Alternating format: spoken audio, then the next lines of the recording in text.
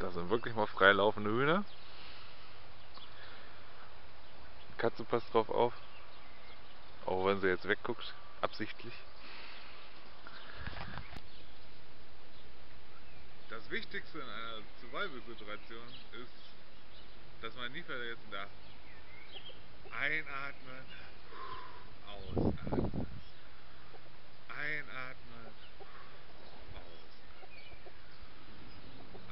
Einatmen, Ausatmen. Wenn man das gemacht hat und regelmäßig macht, dann kommt man schon irgendwie durch.